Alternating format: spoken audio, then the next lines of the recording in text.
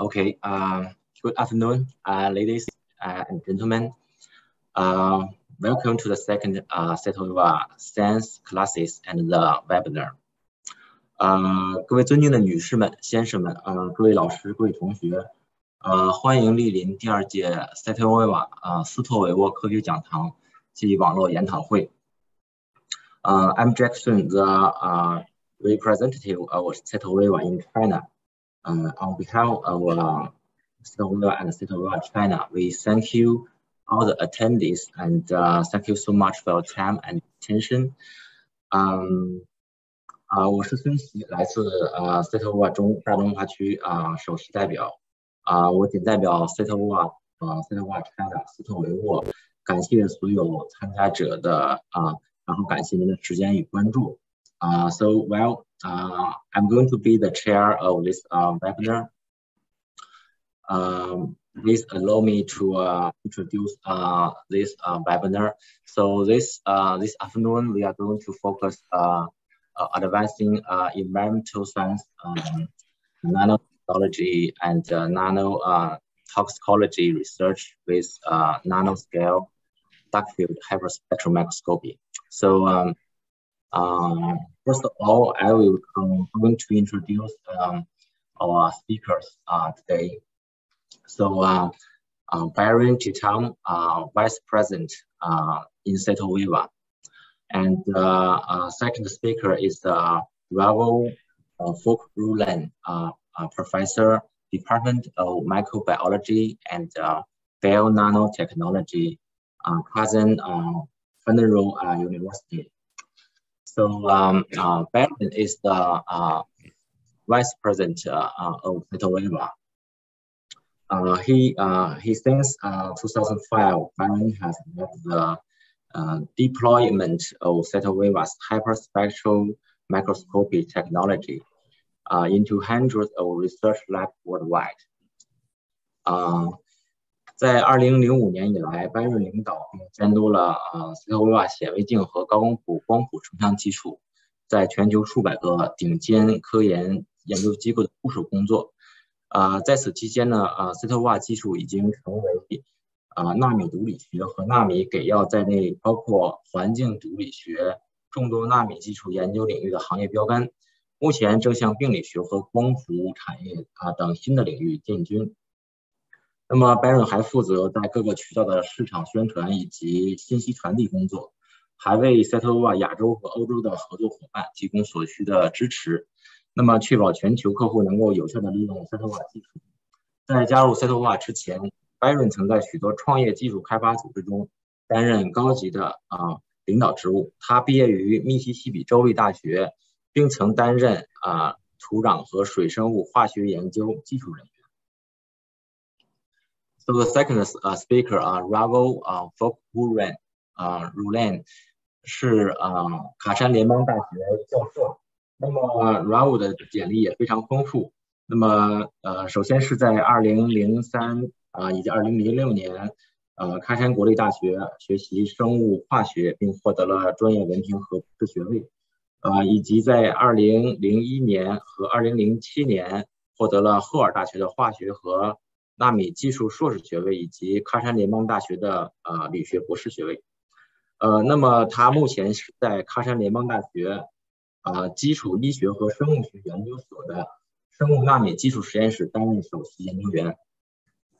呃，从二零二一年至今啊 r a v e l 啊担任了托克斯呃托木斯克州立大学的正教授，并且于二零一七年当选为英国皇家化学协会会士。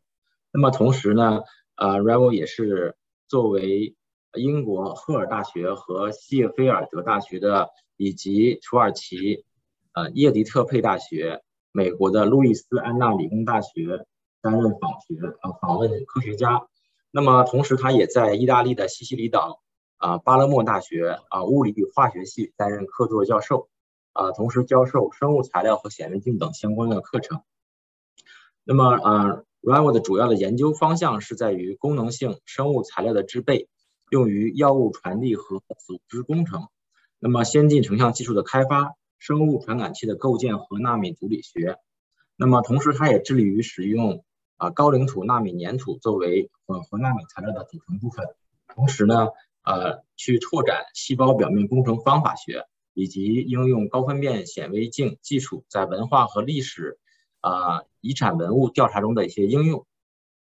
那么 RAVO 目前已发表呃同行评议论文五一百五十多篇。啊，十一个书籍的啊章节，包括为主要的科学出版商编辑了四本书籍。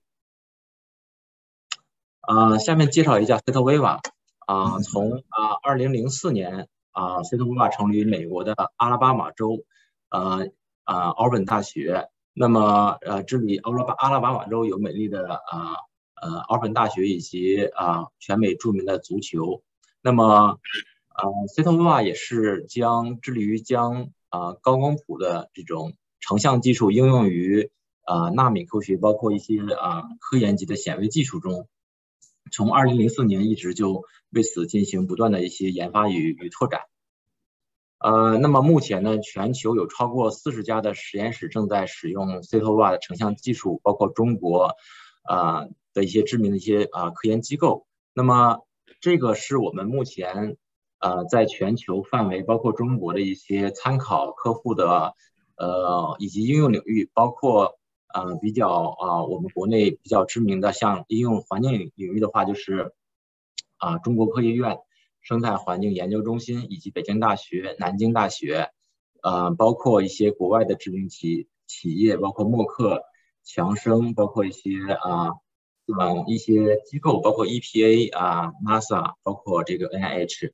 啊，以及一些斯坦福、杜克等知名大学。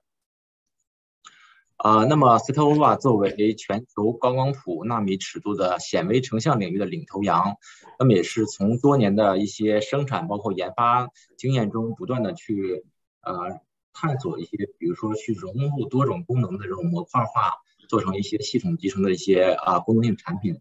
那么同时呢，也会将一些实验室的整体去提供一些实验室的整体的解决方案。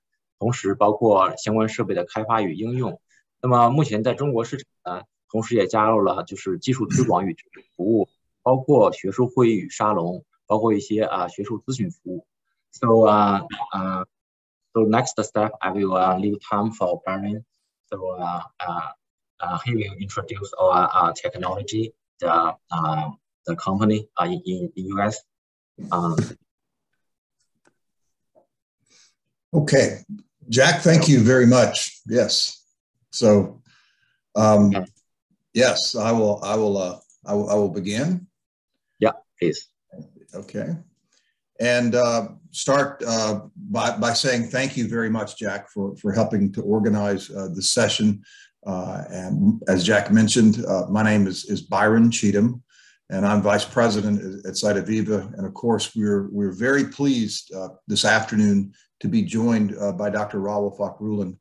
Uh, Dr. Fakhrullin has published many groundbreaking methods papers utilizing the Cytoviva technology, and he will present uh, a detailed overview of some of his research interest in environmental nanotoxicology uh, and and with uh, with publications and data that uh, that include the Cytoviva dark field hyperspectral microscope.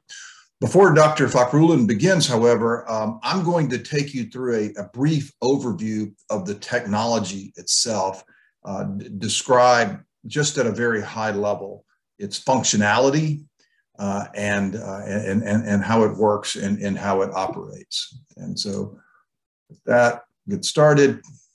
Before we get started, though, and, and, and, and Jack mentioned this uh, to, to a degree with the introduction of the speakers and, and Cytoviva, I'll provide the overview and, and uh, Dr. Uh, will, will cover a detailed application review.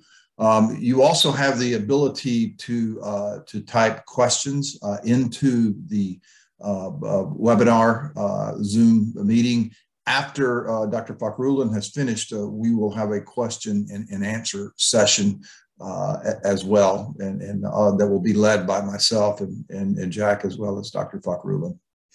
Um, I want to start by providing you with just a, a brief overview of uh, what uh, the Cytoviva technology does at, at, a very high level and a core essence. um, before we talk about the technology itself. There are three major elements in terms of functionality with this technology. And the first is the ability to observe nanoscale elements that are interacting with either labeled or unlabeled biological or material matrices. And a key element here is that the, it's the ability to observe uh, both nanomaterials and biological elements without any special sample preparation required. And, and to show that as an example, we can see here uh, Bacillus subtilis. Uh, these are, are, are bacteria. Uh, and these are bacteria that have uh, that are interacting with silver nanoparticles. Silver nanoparticles are, are known to be uh, efficient antimicrobial agents. And so the study of silver nanoparticles interacting with uh, pathogens such as the Bacillus subtilis uh, is, is a very relevant uh, field of study. And here in this image, this is a, a 400x uh, zoom hyperspectral image. And you can see the small blue punctate areas here in the image are silver nanoparticles. And then, of course, you can see uh, the bacteria and the form of the bacteria.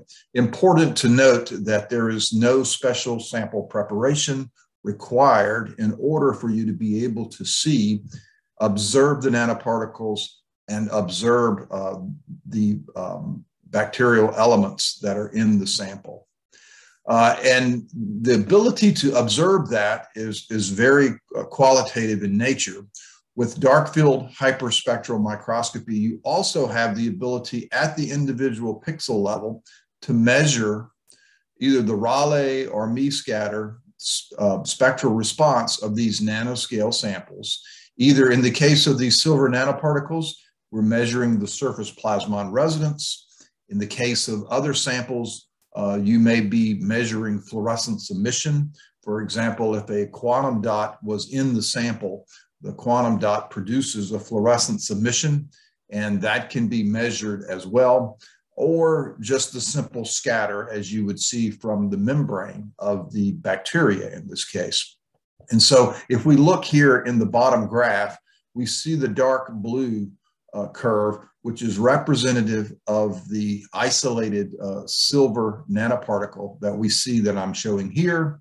If we look at uh, the Mie scatter of the bacterial membrane, we see it represented here in white from this area, right? These are two very different spectral curves.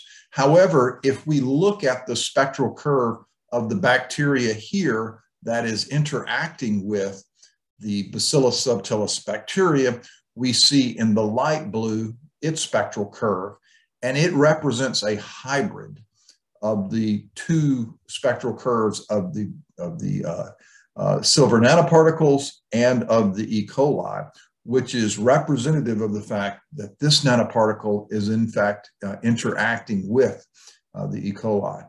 So if you have the ability to observe uh, these materials in very high spatial resolution, and you have the ability to measure their pixel level uh, uh, uh, scatter or, or um, surface plasmon resonance or emission, then you can conduct detailed uh, spectral analysis and spectral mapping of these nanoscale elements in the cells and tissue and other environments.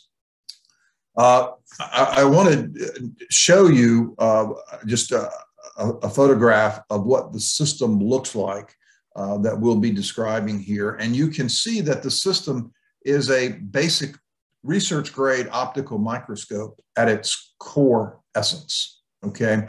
Uh, and, and so typically we provide these systems as complete solutions uh, for a research lab that includes the full system, includes installation and training and application training as well when it's provided.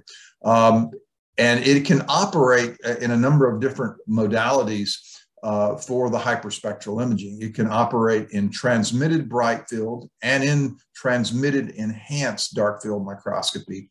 Uh, this is important because let's say, for example, if you had a uh, pathology related application that you wanted to study, uh, with H&E stains, then a transmitted bright field application may work better than, for example, an enhanced dark field. But also, there is the case that you may be working on substrates uh, that are uh, opaque, maybe a silica um, substrate, for example. In that case, you would want to work in reflected bright field or dark field microscopy mode. But also, you can work uh, in fluorescence mode uh, for um, microscopy as well.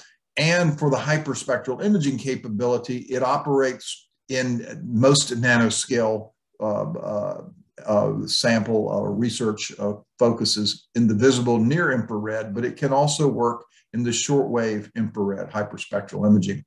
And so here we see the enhanced dark field optics are in the uh, condenser mount of the optical microscope. We have the uh, spectrophotometer, uh, which is the diffraction grating spectrograph and the integrated SCMOS camera in this example, which combine to produce the spectral images that we see. The hyperspectral imaging works in a mode known as a line scan or push broom method. And so the automated stage serves to move the sample very precisely across the field of view of the microscope and the spectrograph and spectrophotometer to create a hyperspectral image that we saw earlier of these pixels. And you can see these pixels to build a hyperspectral image pixel row by pixel row, and then produce that as a full image that you see here on the uh, on the screen of the uh, of the computer uh, for presentation and then for hyperspectral analysis. Uh, Jack has already mentioned uh, the, the types of, of, research institutes around the world that utilize the technology.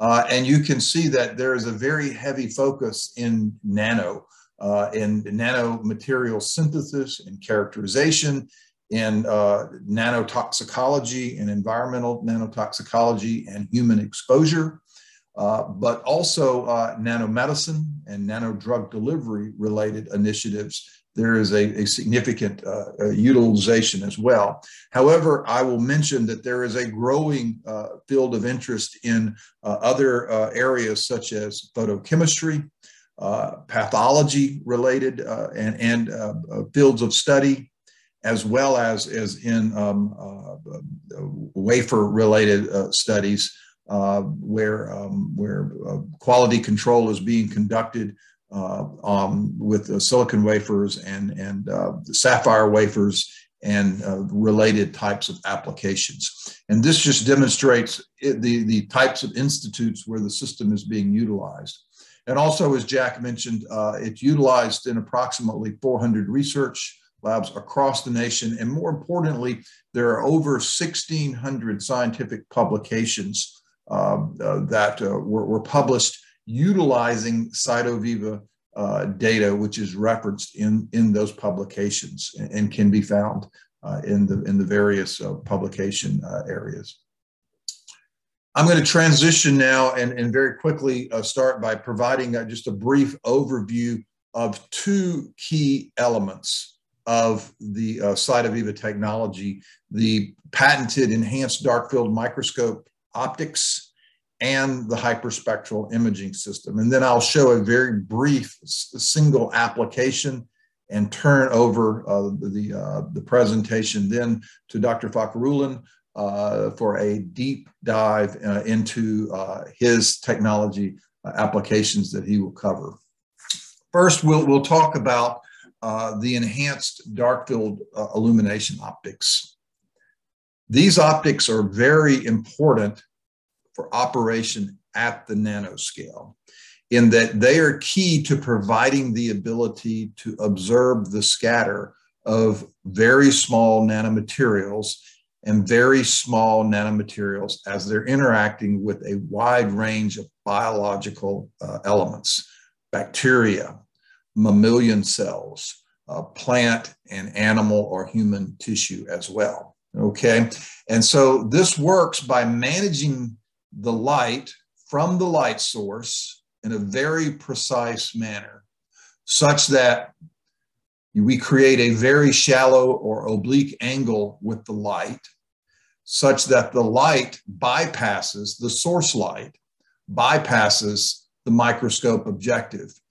But the source light interacts with the sample at a very oblique or shallow angle such that scatter from the sample goes into the objective and is recorded and captured by the objective.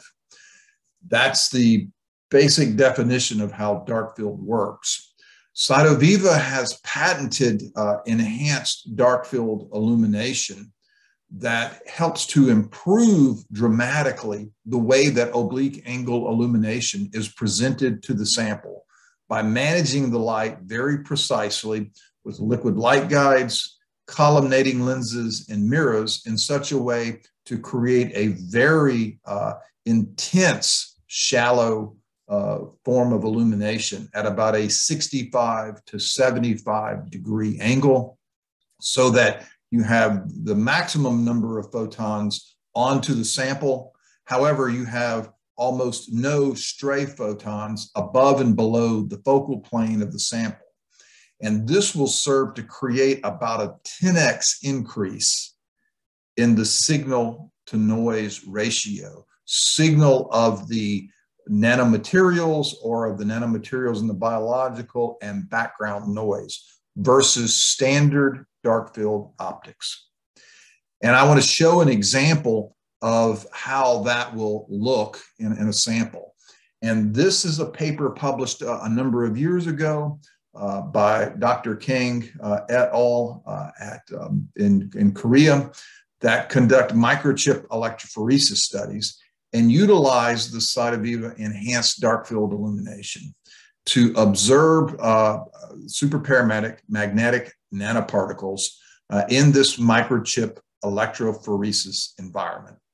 And the point of, of this slide is to actually show, if you see in the top, this group uh, utilized a standard uh, Olympus dark field condenser on an Olympus microscope uh, and for these uh, nanoparticles and for imaging these nanoparticles. And these are representative images of these nanoparticles. And this is the measurement of the signal to noise ratio, the signal from the nanoparticle and the background noise. With the same exact samples and the same exact microscope and the same exact settings of the image capture parameters, they replaced the, the Olympus condenser with the Cytoviva enhanced dark field condenser. And they saw a dramatic increase in the signal to noise ratio of the nanoparticle versus the background noise as a result of utilizing Cytoviva's patented enhanced dark field optics. In fact, they measured on average about a 10x increase in signal to noise ratio. This is super important because if you want to observe the scatter of nanoparticles with an optical microscope. You need to have the best signal to noise ratio optics possible. And Cytoviva's enhanced uh, uh, dark field illumination produces the best scattering image in dark field that's available uh, today uh, for nanomaterials related studies. With that, I want to transition very quickly to hyperspectral imaging and, and talk a little bit about hyperspectral imaging and how it enables the spectral response measurements within each pixel of a high resolution image. And we're going to talk about that combined with the enhanced dark field microscope optics uh, and, and show that. So as we mentioned earlier, you have the ability to capture visible near infrared or shortwave infrared images with a diffraction grating spectrophotometer mounted onto the microscope camera mount. We showed you an image of this system and what it looked like earlier, which enables you to capture the unique reflectance spectrum. So if you think about uh, the, the optical spectral response, you can measure uh, transmission, you can measure absorbance, or you can measure reflectance. And so this is measuring the reflectance spectrum of uh, the materials uh, that, that are being imaged by the microscope in the visible near infrared from 400 to 1,000 nanometers, or if you're using a shortwave infrared system from 900 to 1700 uh, nanometers.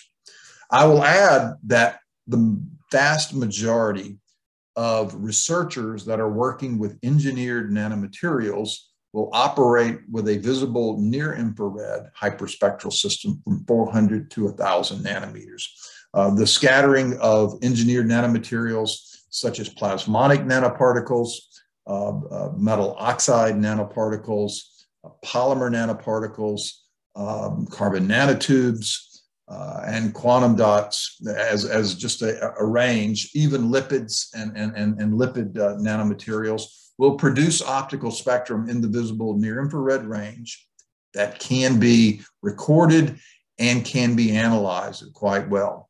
However, there are specific nanomaterials, uh, even plasmonic and, and, and, other nanomaterials that produce distinct spectrum in the shortwave infrared, and, and a system can be provided to capture that data as well. Depending on the objective utilized, uh, uh down to 100x objective uh, uh, for magnification on the microscope, uh, pixel sizes in, can be as small as, as 128 nanometers. Uh, pixel resolution can be as much as 1,000 by 1,000 pixel resolution. And this spectral data is reported in high spectral resolution, not spatial resolution, but spectral resolution, approximately two nanometers of spectral resolution, which means that, for example, if there's a change in the spectrum from, say, 550 nanometers to 555 nanometers over a five nanometer range, with two nanometers of spectral resolution, we could illustrate uh, a change in that very narrow five nanometer wavelength range. But most importantly, what really differentiates hyperspectral imaging is that the data is presented as a spectral curve and as an RGB image. So high spatial resolution of spectral data. And then as a result, you can conduct detailed quantitative analysis of nanoscale objects in the field of view that can be performed. And I'm going to show some examples of that, but I want to show the importance of really high signal to noise uh, optical images with the enhanced dark field optics and how that can very well influence the hyperspectral data that you record. And I want to show that by looking at a single gold nanoparticle and looking at the surface plasmon resonance measurements of that uh, single gold nanoparticle, uh, utilizing uh, standard, again, Olympus dark field optics and Cytoviva's enhanced dark field optics. And just from a qualitative observation, it's very easy to see that there is a, not a very low signal to noise ratio. And if we measure a single pixel data here of the center of this nanoparticle, we see very low amplitude and we see lots of noise in the data.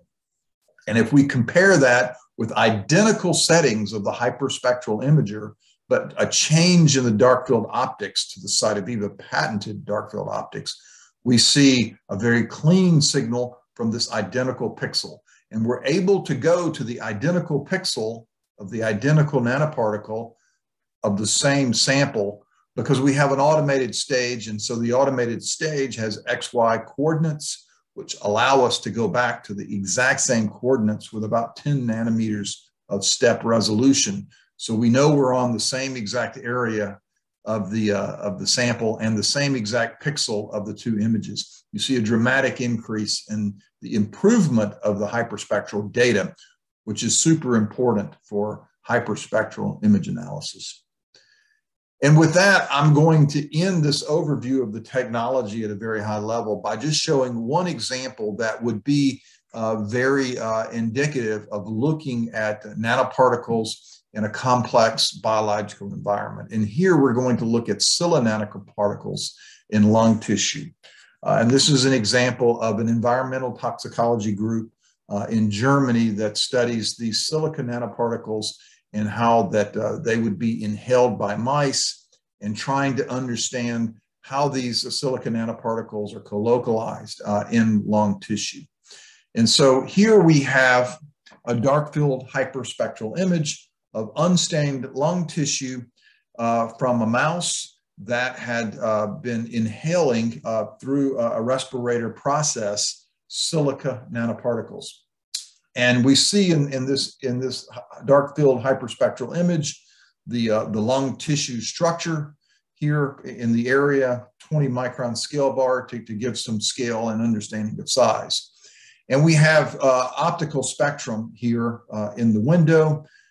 The green optical spectrum is representative of two areas of silica nanoparticles that were identified uh, in the image. And uh, then the, the red areas represent the, the silica, uh, or excuse me, the, the, lung tissue. And in this case, the actual uh, spectrum was normalized against the lung tissue. And as a result, the lung tissue produces no distinct spectrum. But when you come onto an area of silica nanoparticles, you get uh, this optical spectrum mean, this is a mean spectrum of the silica in the tissue that we're showing here. You can see what looks like potentially other areas of silica uh, in the lung tissue. By utilizing uh, uh a spectral library filter capability against the negative control, however, you can build uh, a, a, spectral library of just the uh, silica nanoparticle elements and then you can utilize a, a, software feature known as Spectral Angle Mapper. Spectral Map all the uh, pixels in the image that are a match to the unique spectra of the silicon nanoparticles in the lung tissue. So we see this spectral library here that's indicative of the spectral library of the silicon nanoparticles. And we know it's the only, uh, uh, that it's only silica because this is a controlled experiment where uh, the, the mouse was inhaling silica nanoparticles and the control mouse, of course, was not.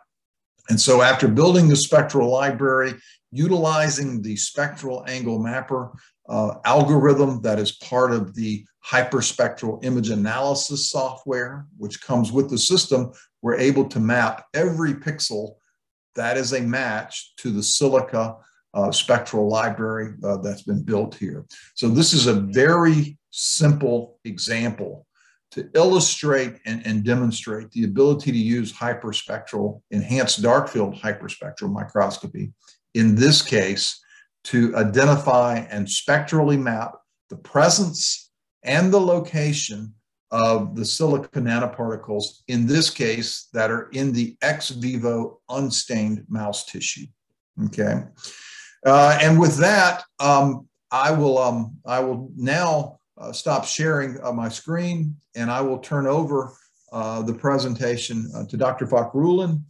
Uh, and Dr. Fakhrullin will, will um, share his screen and, and present some specific environmental nanotoxicology work that he does. Thank you for attending, Dr. Fakhrullin. Thank you, Byron. Thank you, Jack, for organizing this event. Can you can you hear me? Yes. Can you guys hear me? Oh, okay. Yes. So, uh, I I'm happy to see that uh, Byron has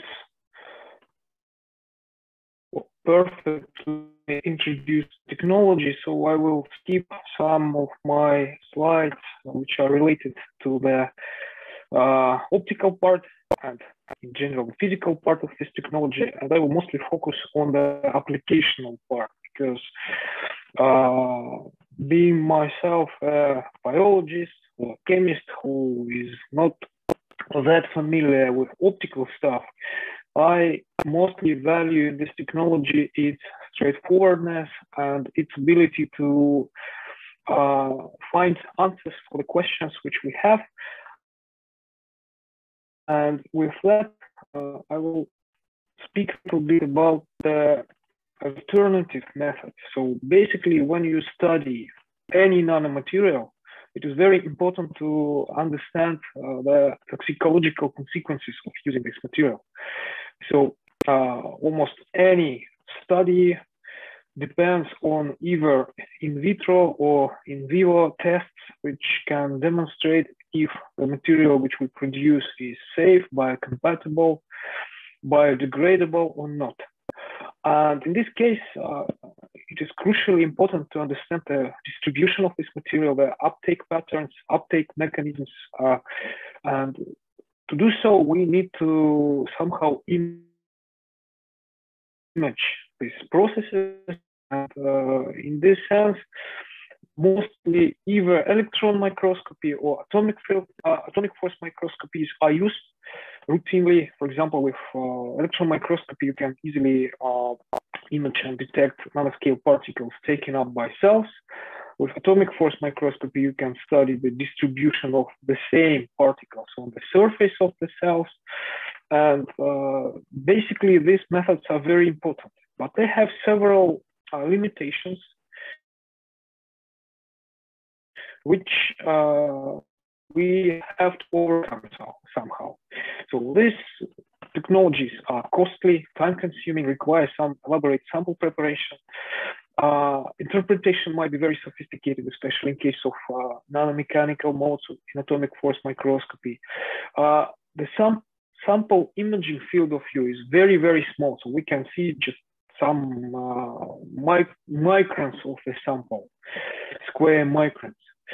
Uh, and in my opinion, one of the most important limitations is the fact that in this case, we can simply uh, image the particles in dead fixated specimens. So we cannot see any dynamic processes. Even with uh, atomic force microscopy, which can operate in liquids under environmental conditions, even in this case, some fast processes can visualize into those limitations of the technology. And of course, to overcome these problems, we require some different uh, methodology. And in this sense, uh, dark field microscopy uh, meets this uh, criteria. Uh, dark field microscopy is absolutely not a new method. So it has been developed more than 100 years ago. And uh, in some uh, early studies, uh, it was called ultramicroscope. Uh, in biology, dark field microscopy is mostly used at uh, lower magnification, so not exceeding 400x of the overall magnification, which means uh, 40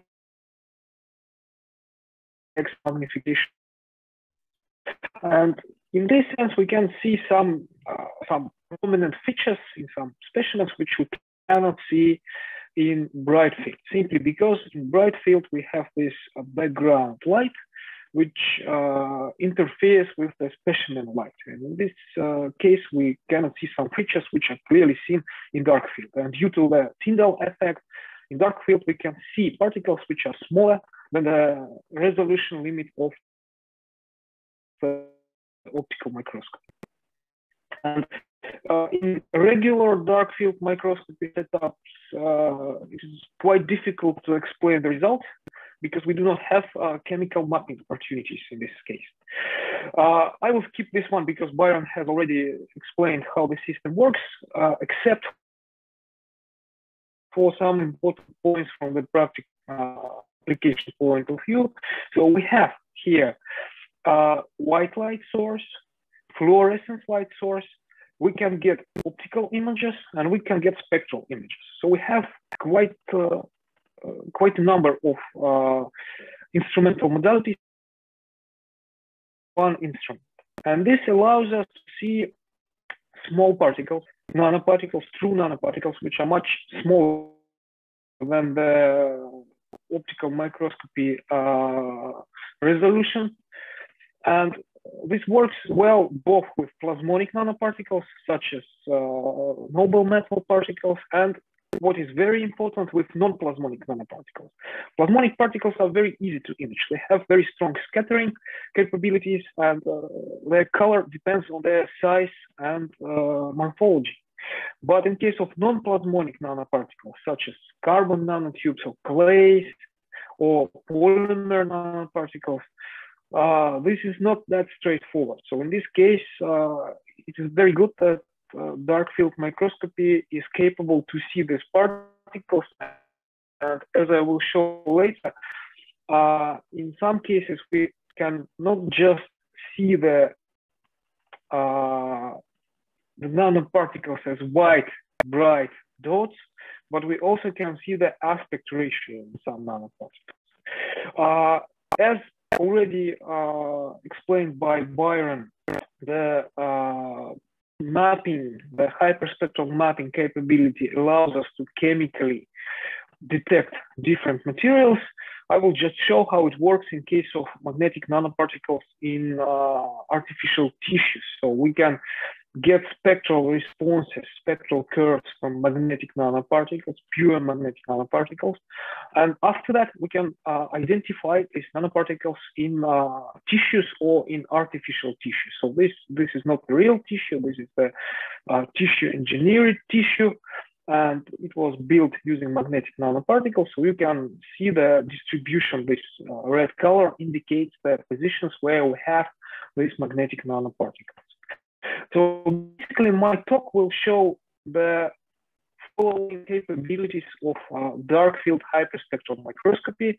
So nanoparticle detection using dark field in combination with fluorescence, which is very important for biology, uh, hyperspectral mapping, and dynamic imaging of nanoparticles in real time in ambient conditions. So uh, I usually demonstrate this picture, which is very characteristic. It is not related to the technology purely, but it demonstrates how it works because uh, this Empire of Light painting by Rene Magritte apparently demonstrates uh, some scenery taken uh, or imaged at uh, dusk. So we still have sunlight here, but we have some features uh, behind the sunlight. And it in some sense uh, corresponds to dark field microscopy. So we have a strong light source which illuminates the sample and we can see the features both uh, in terms of cellular imaging and in terms of nanoparticles which are inside this cell. So here you can see some clay nanoparticles in human cells and depending on the intensity of illumination we can either image the uh, interior of the cell, but reducing the strength, the intensity of illumination, we can simply see the nanoparticles inside the cell. So this technology uh, depends greatly on how we illuminate the sample. For example, here you can see the distribution of clay particles compared to the same uh, by uh, electron microscopy. So you can see depending on the uptake, these cells uh, have the capability to uh, to endocyte uh, clays at higher concentrations than these cells. So you can clearly see this in dark field images, uh, which is uh, very well corresponding to the electron microscopy images. And what is important here, you can see the whole cell.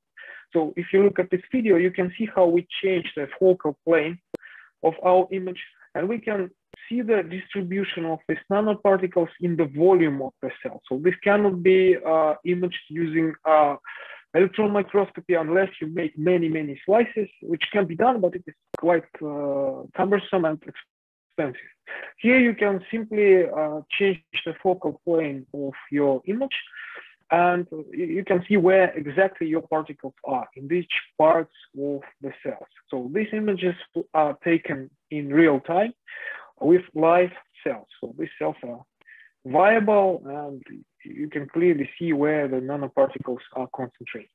Uh, wait a second. Uh, yes. So this uh, slide demonstrates the distribution of clays in uh, transparent Caenorhabditis elegans worms. This object is very suitable for working with dark field microscopy because uh, it is quite small, but still larger than uh, human cells, for example, and it is very transparent. So we can uh, image the distribution of clays in this case in the worms in different uh, parts of the bodies. And the second slide uh, demonstrates uh, the imaging of the whole animal, which is taken uh, in approximately 46 seconds. So uh, the worms, they eat bacteria. And along with bacteria, they can take up nanoparticles. And we want to investigate where these nanoparticles are located, uh, you, you, can simply subject the worm uh, to the dark field microscopy. And here you can see how we move the stage and we investigate the whole animal. We change the focal plane to identify the locations of the nanoparticles so they can be uh, inside the worm or on the surface of the worm. And if they are inside, they can be at different levels of this worm. So here you can see the whole uh, adult nematode, which is imaged within uh, less than a minute. And uh, that is uh, much easier rather than slicing the whole animal and investigating the whole animal with electron microscopy. It doesn't substitute electron microscopy in some applications, but at least for some preliminary investigations or for other applications, it is very, uh, very helpful. Next, we turn to combination of dark field microscopy and fluorescence. This is extremely important for uh, nanotoxicology because fluorescence can be used to uh, to target some uh, biological molecules like DNA or proteins within the cells, and we can co correlate where we have nanoparticles with what we can see with fluorescence imaging. Like here, for example, on the left, we can see the distribution of silver and gold nanoparticles in human cells. And on the right side, we can see the same, exactly the same uh, specimen imaged in fluorescence. So we can see the nuclei and we can uh, find, find out where these nanoparticles are, how are they located in relation to the nuclei. Uh, the second, uh, next slide shows, uh, sorry, the same, the same process imaged uh, using clay nanotubes. So here you can also investigate the distribution of the uh, clays within the cells. Uh, we can uh, investigate the biological effects of drugs. For example, if we load uh, some drug into the uh, nanotubes, which act like nano carriers, like nano containers. And in this case, we have used paclitaxel, which is a uh, well-known anti-cancer drug, which damages uh, several processes in the cells, and it also destroys the nuclei in cancer cells. And here you can see in these fluorescence images how we can uh, investigate the uh, concentration dependence of the effects of this uh, of the drug after it was taken up by the cell. So the nuclei are being deformed and we can see how uh, this affects the viability of the cell. We can also use some uh, regular fluorescence dyes like uh, dyes which target membranes or dyes which target uh, cytoskeleton.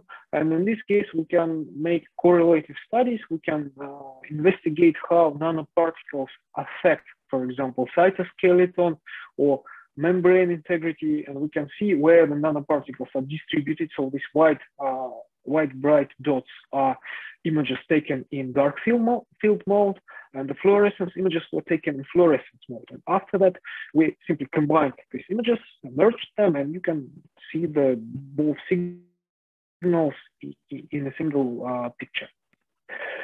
Next, I turn to hyperspectral mapping, which is important in terms of chemical identification of materials.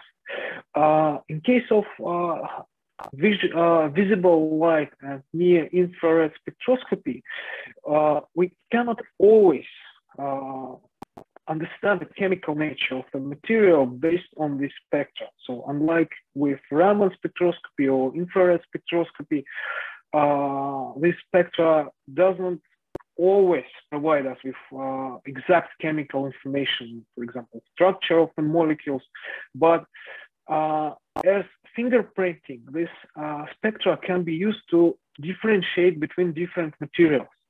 Uh, it works very well with plasmonic particles, but with some non-plasmonic particles, it also can be uh, applied to identify these particles, and it works uh, with mixtures of the particles. So if we have, for example, plasmonic and non-plasmonic particles, we can clearly clearly differentiate between them uh, in a single image as shown in this slide.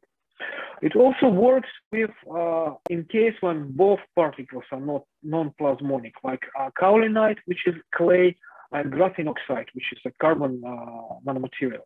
In this case, we can uh, image the distribution of uh, clays and graphene oxide in protozoans, which are single cell or organisms, which are larger than human cells, but still unicellular. And we can uh, find out where exactly these materials are located uh, within the organisms.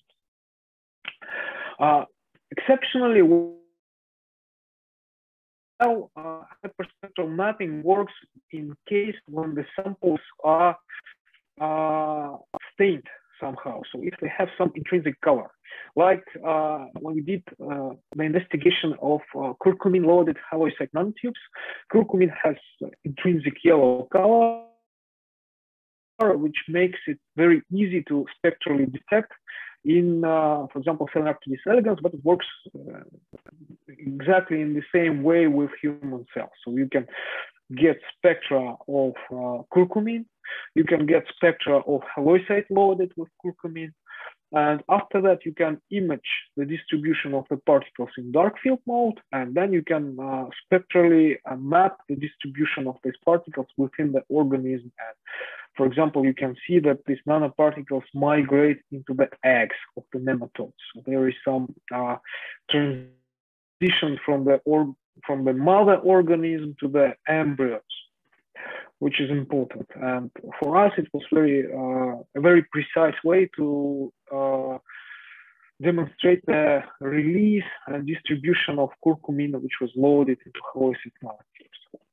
And the next slide shows one of my favorite applications, that is dynamic imaging of uh, nanoparticles in uh, real time. So, for example, uh, this picture, this footage demonstrates the rotational motion of uh, individual halloysite nanotubes, which has uh, width of approximately 50 nanometers and length doesn't exceed one micron. So we can, uh, we actually did this. We managed to uh, record Brownian motion of such particles depending on different conditions like nature of the particles, nature of the media where the particles are uh, dispersed. And we managed to uh, apply artificial intelligence to analyze these movements and to get some physical in, physical insights on how the uh, media and the composition of the particles affects the uh, patterns of the dynamic uh, behavior of these particles. Why this is important. It is important because we can use the same uh, algorithms to investigate the uptake and uh, interaction of uh, biological entities like uh, cells in this case with uh, individual nanoparticles. So here you can see, for example, the process of uptake of halloysite nanotubes by a live human cell. So this is the uh, dispersed human cell uh, it is dispersed in media, it is viable, and you, you can see how, how it works in real time. And the same can be imaged in uh, whole organisms. Like uh, in this case, you can see the uh, Brownian motion of halloysite nanotubes within the uh, intestines of Caenorhabditis elegans. So basically, it is clear that not just the chemistry of the particles affects the toxicological effects, but also how these particles behave within the organism, whether they are static or they are moving, uh, they can somehow irritate the organism simply by the fact that they are moving actively. And uh, these processes have largely been omitted by the researchers simply because there is no methodology which would allow one to see uh, the movement of the particles uh, in the whole organism. And in this case, dark field microscopy provides this opportunity. And finally, I will show some uh, exciting examples of using this technology to investigate the uh, uptake and distribution of nanoplastics in uh, live organisms. So the microplastics problem doesn't uh, really need some uh, extensive introduction because we know very well that this is a very serious problem. and if I follow publications from uh, China on the problem of microplastics. Just a couple of days ago, we had a joint review on this uh, on this uh, problem with some uh, Chinese colleagues. And uh, this problem is very important worldwide, and especially for China as one of the largest producers of plastics worldwide. And uh, pollution with plastics means that we need to investigate how these plastics affect humans, uh, organisms. So basically, you can take any sample, anything, water, air, whatever, dust, and you will find some plastics there. So it is important to study how these plastics affect uh, organisms. And to do so, we basically need to image these plastics and some uh, model materials like polystyrene, micro, and nano beads uh, have been used extensively in research to investigate the uptake and biological effects of nanoplastics. And this has been done in combination with Caenorhabditis elegans. As I said, it is a very important, uh, very suitable object for these studies. And uh, example, on this slide, here I demonstrate some uh, results from some other groups. These are not our studies. Uh, so you can either stain plastics with some fluorescence dyes, and in this case, you can uh, detect quite large particles, like microns, or if you image nanoparticles, you still can see them, but due to the resolution limitations, you cannot really image individual particles. And in case of fluorescence dyes, you you should always expect that some dye will leak out from the particles and you will get fluorescence where you have no particles. So that is the limitation of fluorescence microscopy. And there are some other ways to image plastics like uh, infrared microscopy, especially using so-called focal array detectors. And that is a very powerful technique, but it allows you to image microplastics, which should be like 10 microns or even more in size. Or you can use Raman spectroscopy. And in this case, you can identify nanoplastics like 80 nanometers in diameter, but you have to add some Raman markers, some SERS enhancers, like well, silver nanoparticles, which is not uh, applicable for biological studies because these particles might, might affect the biological process, processes on their own right. So we need something to uh, image nanoplastics without using any fluorescence, without using any Raman enhancers. And in this case, we can use uh, dark field microscopy. So here I show some uh, specimen, some polystyrene, uh, polymethacrylate, and melamine formaldehyde particles, which we use to image uh, in uh, ambient conditions in water. So here you can see that no nanoparticles actually can be seen even in advanced uh, bright field microscopy. So here we use some differential interference contrast, which is very powerful for most of the samples, but still you cannot see nanoparticles. But if we use uh, dark field microscopy and dark field, especially if the dark field microscopy is supplemented with uh, hyperspectral imaging, we can image particles down to 100 nanometers.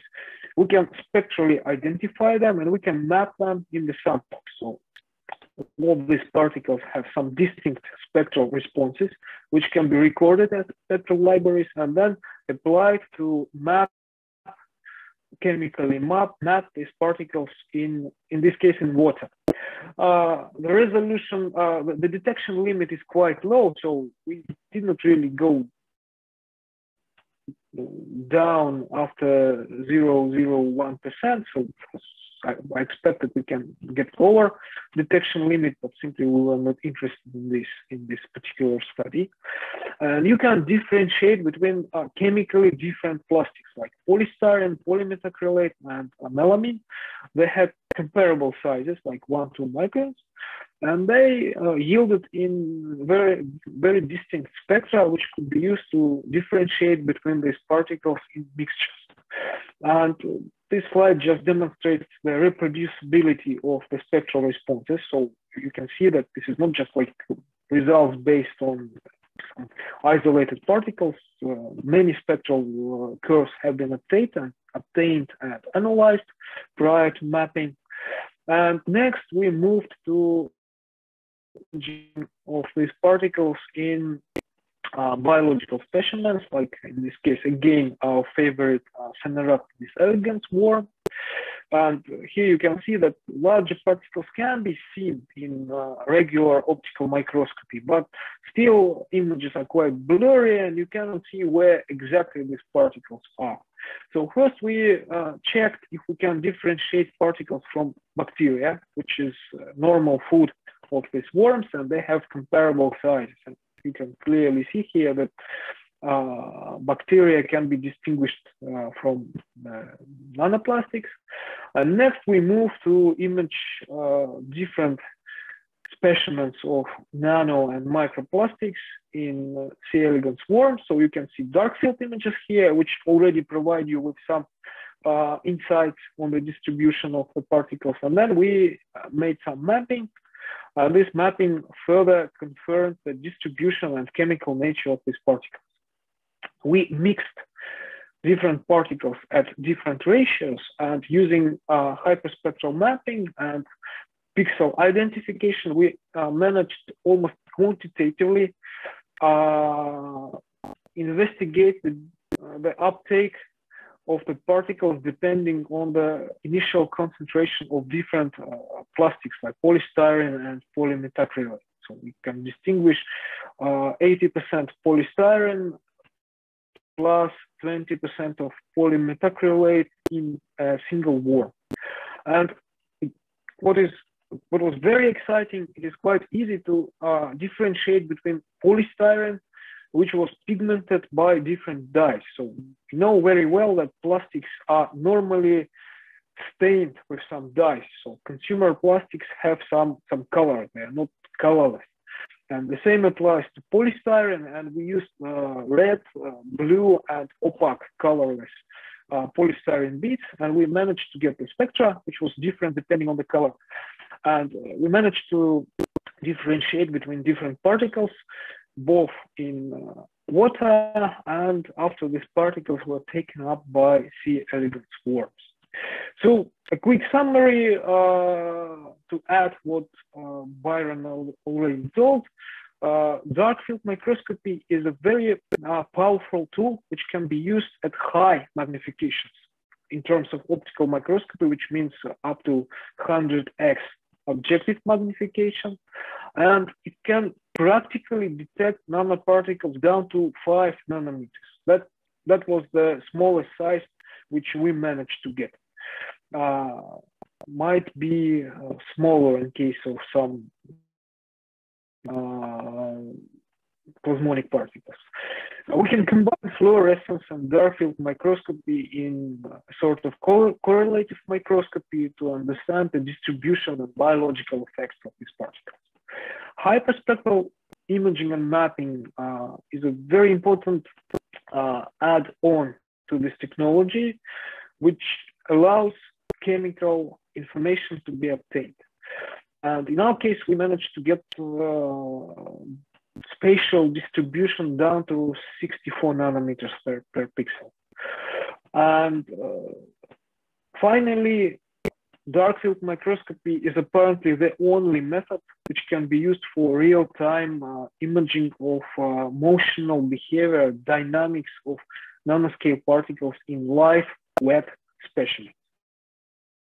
So uh, just want to acknowledge my, my team, my colleagues from different uh, parts of the world, from the US, from Italy, and from uh, Moscow Russian Federation, uh, funding which was provided to our studies. And this is the picture of city of Kazan, where I live. It was taken, let's say, in dark field. So we have uh, dark background, uh, bright uh, objects in the field of view. And thank you very much for your attention.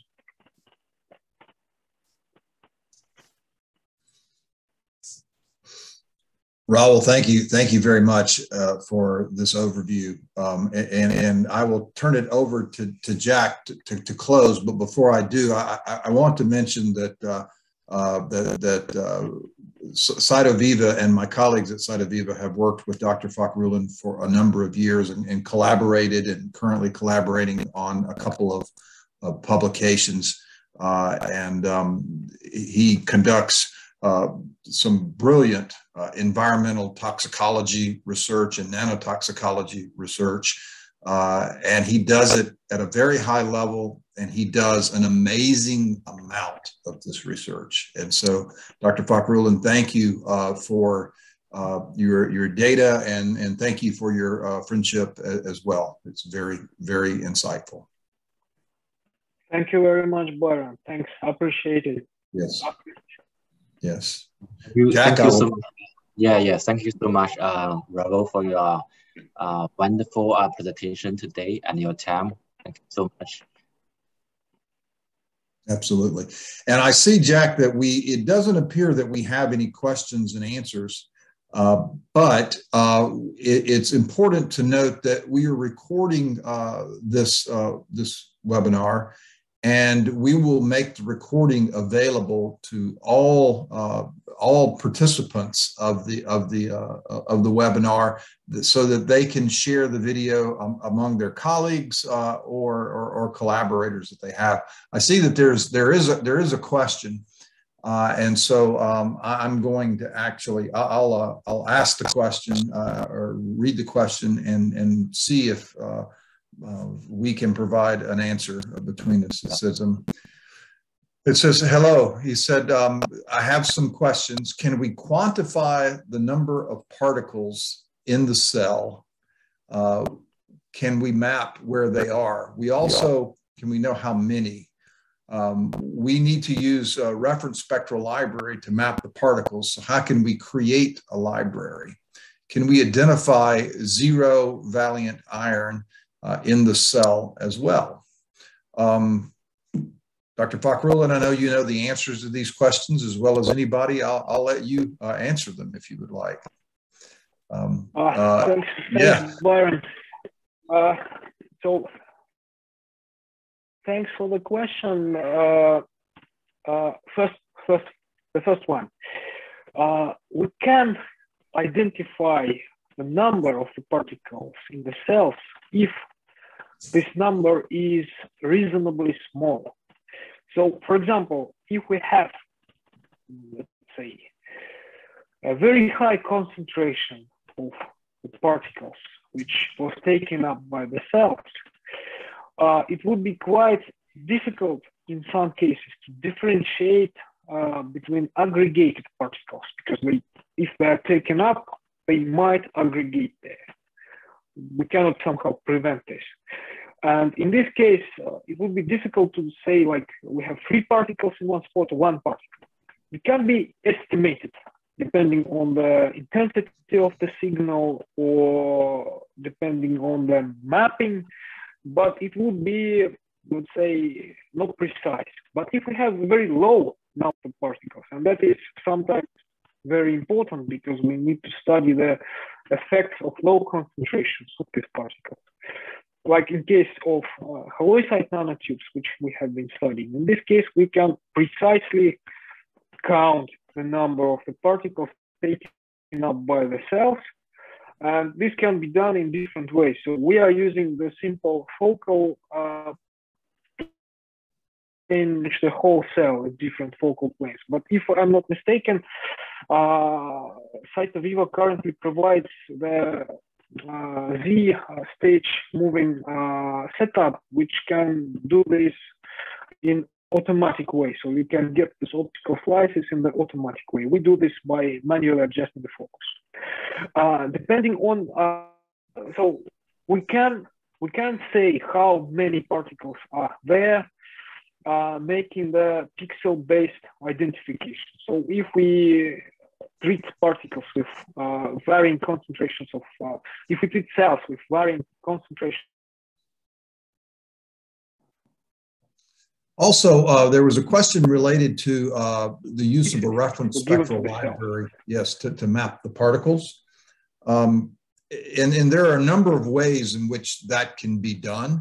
Uh, there is a process in the image analysis software which allows us to identify large regions of interest within a uh, exposed uh, uh, uh, cell or tissue, for example, that's been exposed to nanoparticles with uh, potentially thousands of pixels of data. And that can be filtered against a negative control uh, to identify the unique spectral elements um, of, of, of the nanoparticles in the cell to create an, an accurate uh, spectral library that can then be used to, to, map the particles. So there is a process for identifying the unique spectral characteristics of nanoparticles in unique environments so that that can be created as a spectral library for spectral mapping. Uh, and upon installations of these systems, we provide that kind of uh, uh, insight as, as part of the, the training process that we do. Um, and then finally, there was a question about uh, identifying zero valent iron uh, in the cell as well. I know, Dr. Fakhrullin, you have a good bit of experience with iron nanoparticles. I'll let you answer that. Um, actually, I think I can I can go back. If I'm not mistaken, uh, we worked with iron oxide nanoparticles. Uh, if this zero valent iron is in a form of colloid part, sorry, sorry, sorry. Yeah, here we go. You can see the identification of uh, magnetite, which is uh, iron oxide. If this zero, zero valent iron is in the form of a colloid particle, which has size, uh, diameter of 10 nanometers or more, it can be identified. It, it has, if, if it is a, a soluble iron in uh, dissolved in a matrix like uh, cytoplasm, it cannot be identified directly, but there have been studies, we did not do this ourselves, but there have been studies uh, when people identified such uh, species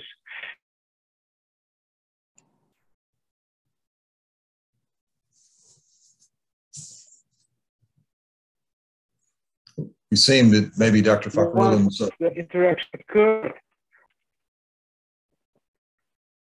Can you hear me? Yeah, so it, we, we lost you just for a second, yes. But. Ah, sorry, sorry, we have some problems with connection here. So basically, the dissolved ions cannot be identified directly by microscopy, by dark field microscopy, because they, are, they do not scatter light with such intensity, which is detectable by uh, dark field microscopy. But if these ions might interact with nanoparticles, somehow treated with some some surface chemistry which is capable to uh, react with this ion. In this case, this can be detected indirectly. I, if if you want, uh, I can share with Byron one reference where people done something like this with mercury. So detecting mercury in environmental samples after mercury was interacting with, uh, I think, silver nanoparticles. It was not our study, so I cannot go deeper into details, but I can just provide you with the reference. And it was qu quite clear.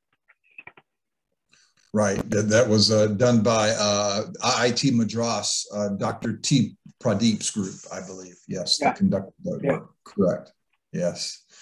Um, so uh, another question that we have is, uh, how do I prepare samples uh, such as cells, tissue, or microorganisms? And again, I'll, I'll let Dr. Fakhrullin, as the researcher, answer that question. Exactly in the same way as the samples are prepared for any other optical microscopy.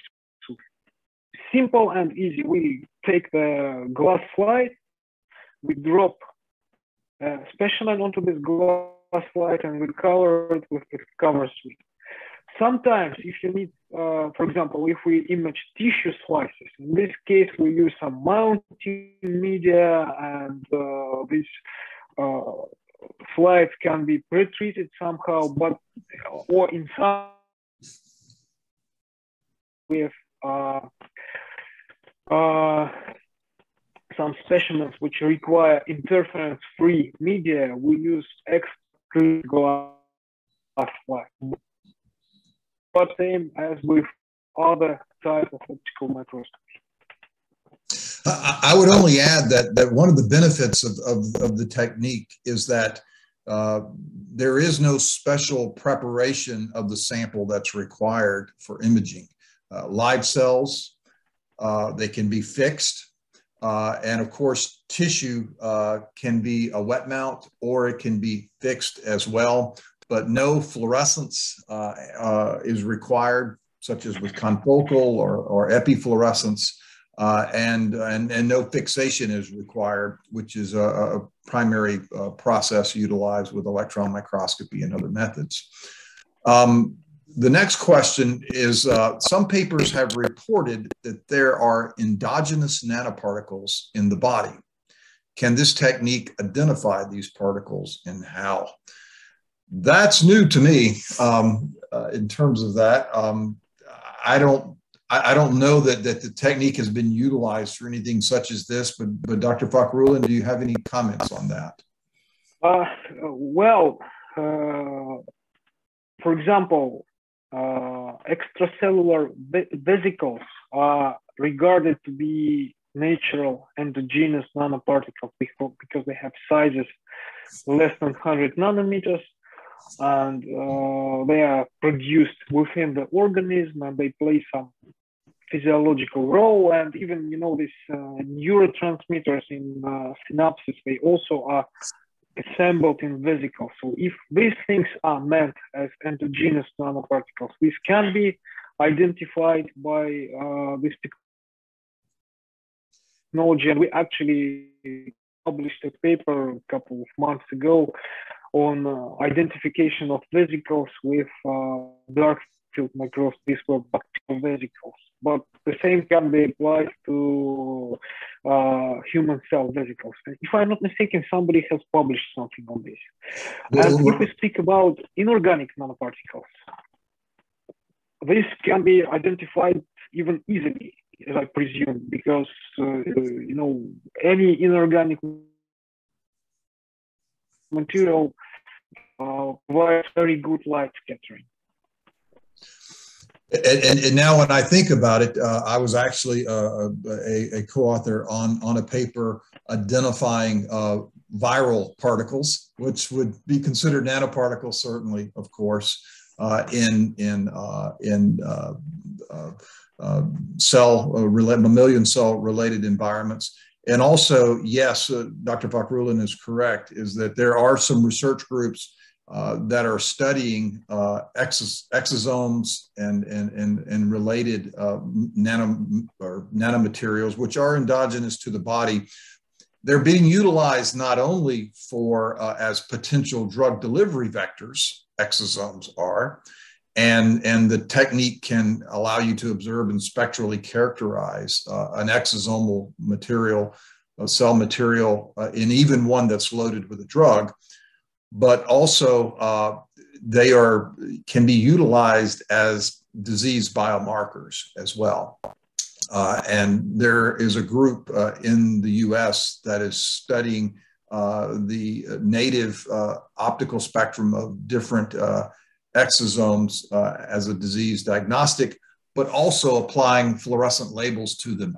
And the idea there is, is that uh, the fluorescent labeling of exosomes produces very sharp, unique optical spectrum for hyperspectral imaging, uh, which allows for multiplexing. So you could potentially identify any of, uh, of many uh, up to maybe uh, 10, 12 different disease diagnostics with 10 to 12 different immunofluorescent labeling of these uh, exosomes. That's, that's some work that's, that's going on. So, so yes, uh, endogenous nanoparticles, whether they're viral particles or exosomal uh, cell particles uh, can be uh, identified. Um, and then finally, the last question is, does the detection only on nanoscale or general heavy metal can also be detected? And Dr. Fakhrullin, you mentioned the, the, the mercury, but um, uh, other, other metals have the ability to, to, to, be detected, I guess, in cells and tissue. Any, any commentary on that? Uh,